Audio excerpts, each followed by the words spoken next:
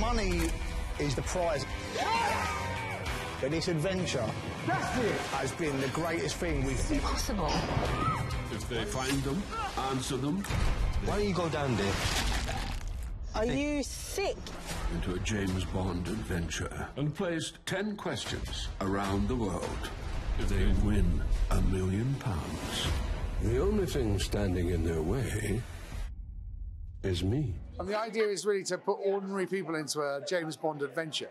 And we didn't quite know how that would work out. And it's thrilling because it's funny and they're really not James Bond, but they have heart and they're lovely and they're kind of, you know, they're heroic in their own way. And so it kind of shines through. And so the show has a lot of heart and hopefully kind of deserves to be in the James Bond world.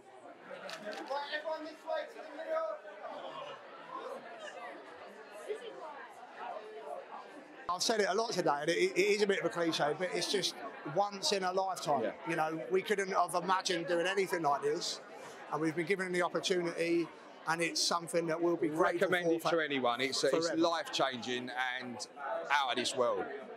Go for it if you can.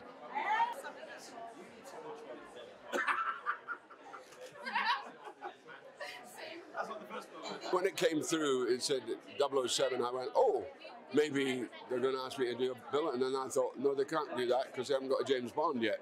And not only that, they haven't got a script yet for the next one. So it was a it was a flight of fancy for a while. And then I realised it was this thing. And that was, I thought, well, maybe if I do this, it's probably the nearest I'll ever get to it.